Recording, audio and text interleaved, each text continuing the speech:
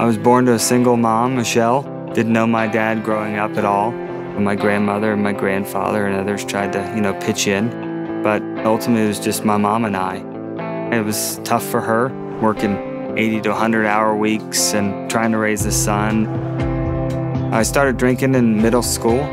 That continued to accelerate as I got into high school. I had to go to a treatment facility or was out on my own. Trying to maintain sobriety is one of the toughest challenges I've ever faced. You start from the bottom and you have to rebuild everything. I was fortunate to have really great people in my life and great family and great mentors to help me build to become the person that, that I knew I wanted to be. It shifted the direction of my life dramatically.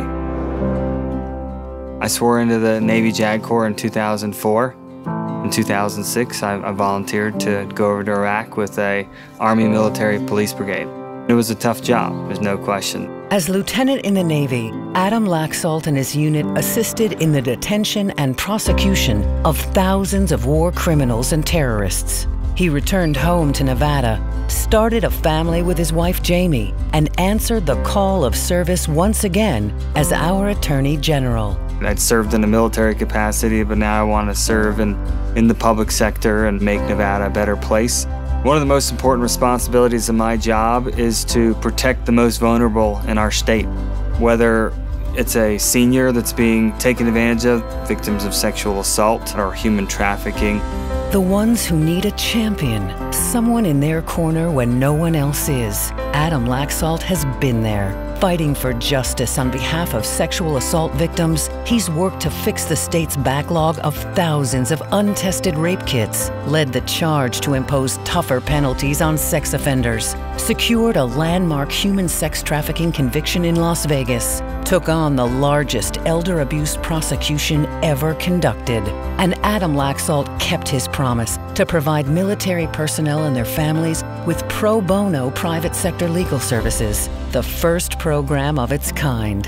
As a veteran, I understand deeply the sacrifices they've all made for our state and for our country, and they shouldn't have to worry about legal troubles when they're deployed in a place like Iraq or Afghanistan.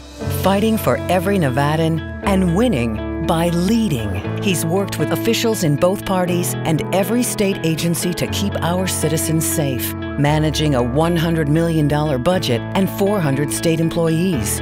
His determination to make Nevada a better place has never been stronger. That's why Adam Laxalt's running for governor, to provide the strong, independent leadership we need to keep moving forward. I believe in this state. I believe that we have a great future in front of us.